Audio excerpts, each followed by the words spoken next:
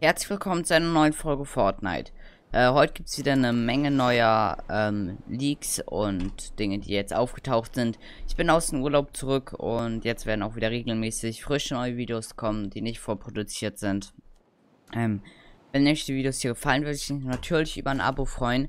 Äh, es fehlen noch 8 Abonnenten bis zu 100 Abos.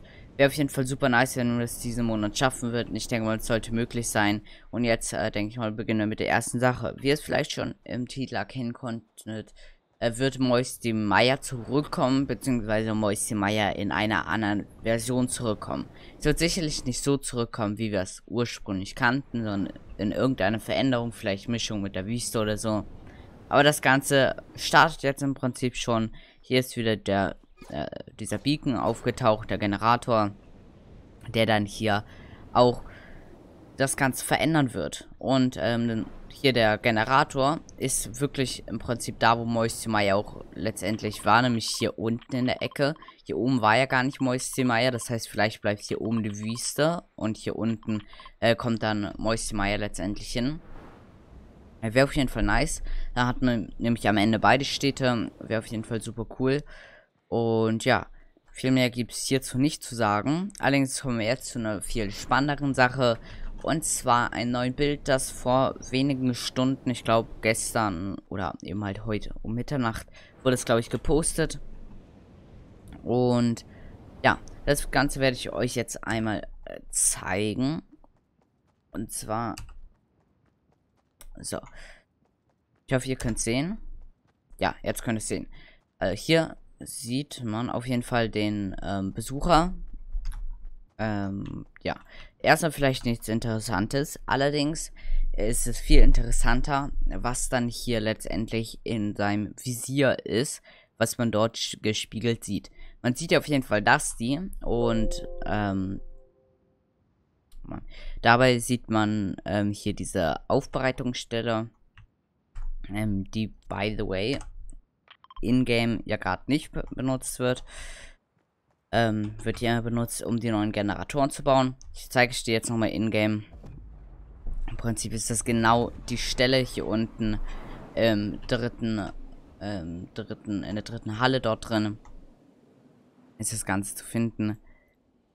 Und ja, auf jeden Fall ähm, sieht man da drin, wie Roboter gebaut werden, beziehungsweise abgebaut werden.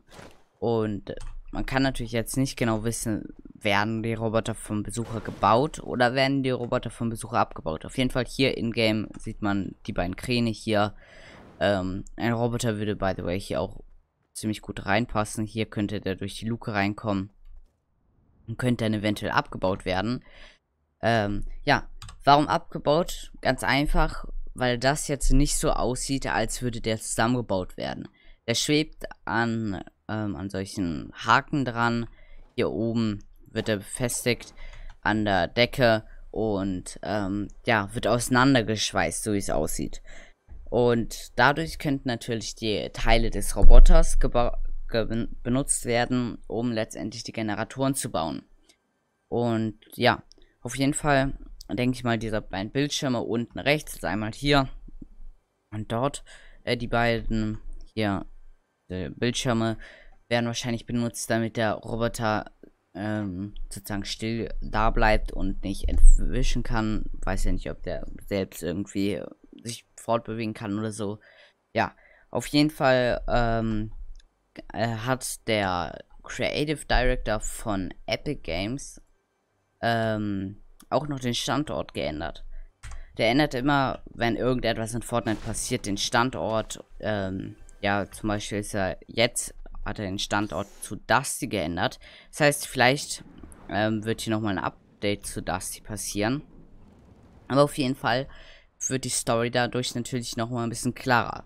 Der Besucher ist immer noch auf der Map, versucht zu irgendwo zurückzukommen, baut die Generatoren auf und äh, baut das Ganze eben halt aus Roboterteilen. Und ähm, ja, deshalb können die natürlich auch nicht die Roboter entfernen, weil sonst die ganze Story keinen äh, Sinn ergeben würde. Ja.